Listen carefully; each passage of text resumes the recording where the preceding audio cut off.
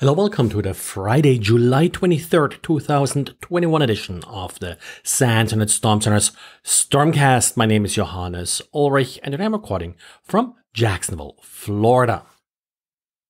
We got an update from Microsoft regarding the Summer of SAM vulnerability, and the most important and really significant change here is that uh, Microsoft now has a complete list of all the operating system versions that are vulnerable. Not much has changed to the different Windows 10 versions, which are essentially the more recent versions of Windows 10, but they also added a couple of Windows Server versions. When I recorded the podcast yesterday, uh, this hadn't been updated yet. Uh, so keep watching that page too from Microsoft. Maybe they'll release uh, some patch or uh, some uh, quick fix uh, for this problem. But Windows Server 2019 is vulnerable. The server core installation, as well as the regular version of Windows Server 2019.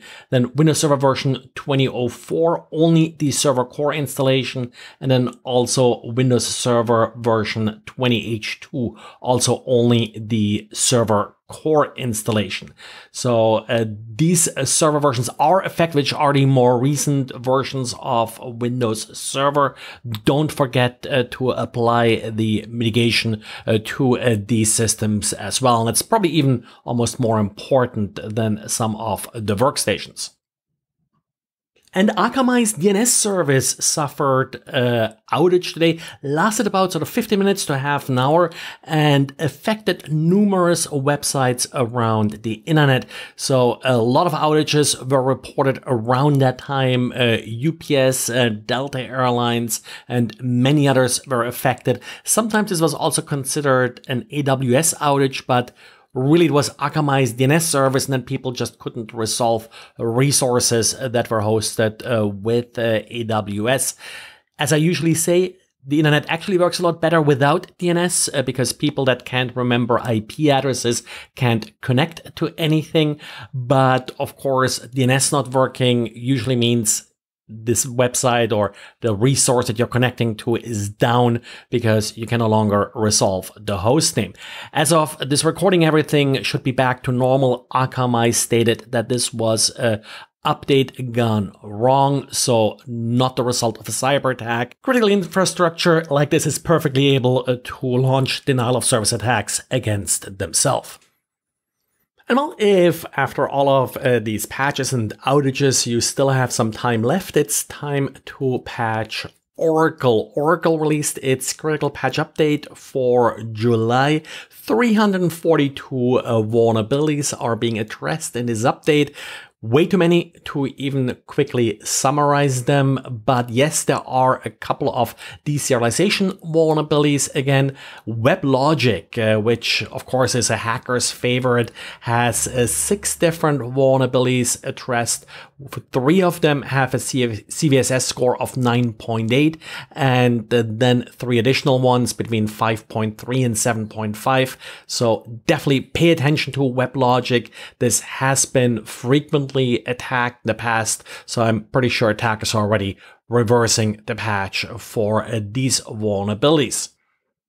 And then we have an update from Kaseya, a good one for the victims of the REvil ransomware attack. Uh, Kaseya did obtain a copy of the universal decryptor key for uh, this REvil attack. So victims will be able uh, to uh, decrypt uh, their files. Contact Kaseya if you need a copy of uh, the decryptor. Not clear how Kaseya obtained it, uh, if there was any uh, ransom payment involved. Of course, the REvil website that would be used uh, to contact REvil and to make ransom payment has been down now for a while, so uh, not really sure. Maybe they'll eventually uh, release what exactly happened here.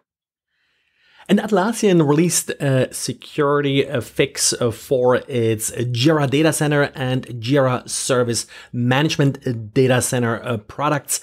The vulnerability does expose the EH cache RMI without authentication, so this should add proper authentication to it. Of course, with any products like this that are integral to a development process, there's always uh, the specter of a supply chain attack waiting here. And then a reminder that old vulnerabilities sadly often don't go away. SEC Consult uh, took a look at some popular web applications and checked how they did DNS uh, resolution. And what they were looking for is if the source port was randomized. If you remember from years ago where Dan Kaminsky came up with this DNS spoofing trick that relied on a static source port being used by the resolver. Well, apparently this is still more common than it should be and would allow DNS spoofing and with that, for example, providing bad MX records. And that's sort of what SEC Consult uh, was looking at here. Is it possible to, for example, spoof DNS and then use that uh, to inject bad MX records and, for example, redirect emails for for password resets. So take a look at your web applications and make sure that the source ports for your DNS queries are sufficiently randomized. The fix is often an update to your DNS libraries or maybe picking a different uh, recursive DNS resolver. Uh, depends on how your setup is exactly architectured. Well, and this is it for today. So Thanks again for listening and talk to you again on Monday. Bye.